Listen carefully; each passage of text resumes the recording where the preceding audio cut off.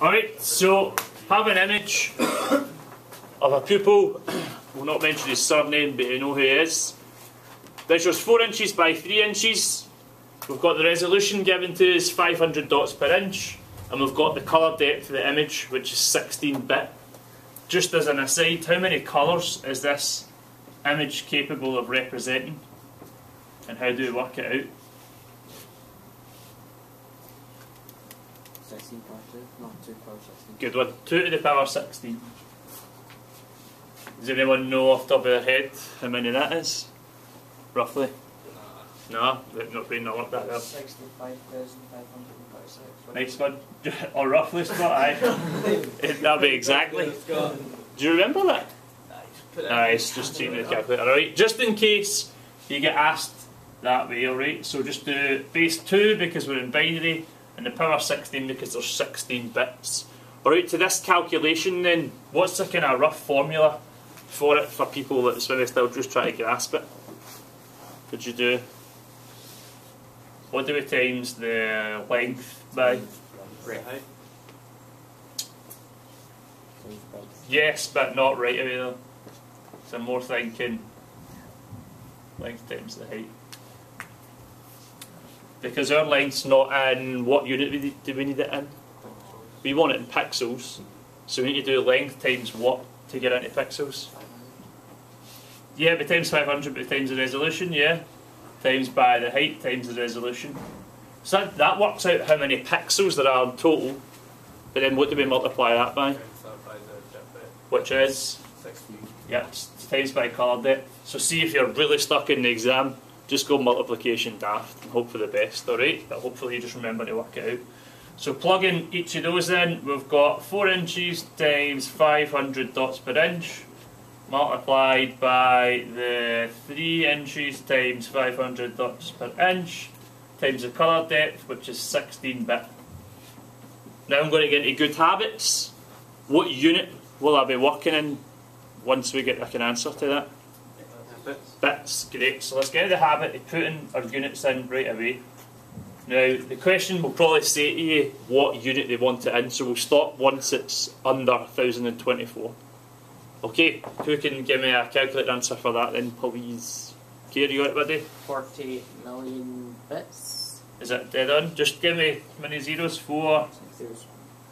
Six zeros after that. Uh, 48. 48, sorry, I thought I had 48. 48, 2, 4, 6. Okay, quite a lot. Shouldn't leave it in that unit because it's massive. Makes it difficult to compare because some of the questions we may get asked next is how many images could you fit on a USB flash drive and so on. How do we make the progression to our next unit, which is what? Bytes.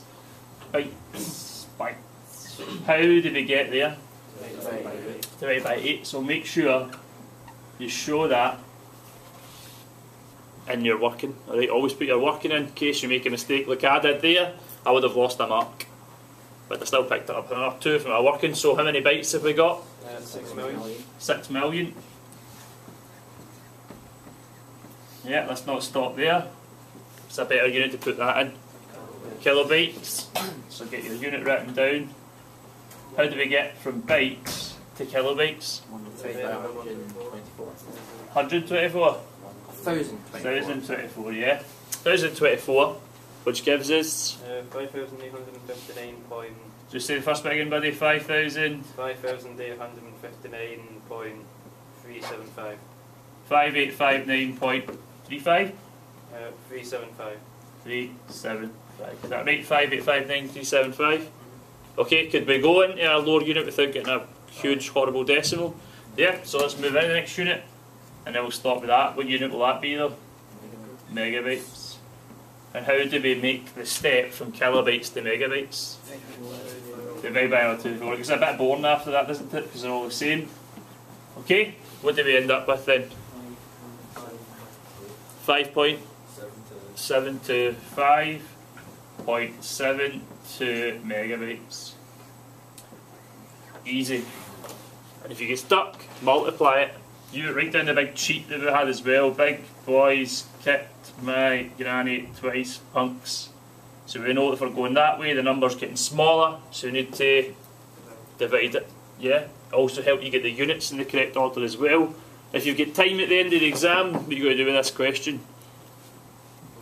Look over it, check it, check your maths, because there's me writing a mistake down uh, with and so. And then obviously questions about how it's stored, how it's different to storing it against vector graphics, advantages of compression they'll ask us about, uh, and they might ask us about lossy and lossless compression. What would be the effect on the image if you increase the colour depth, in fact? Bigger file size, right? Picks up much more backing storage as well. They might ask us questions about how do you, how many images fit on to a USB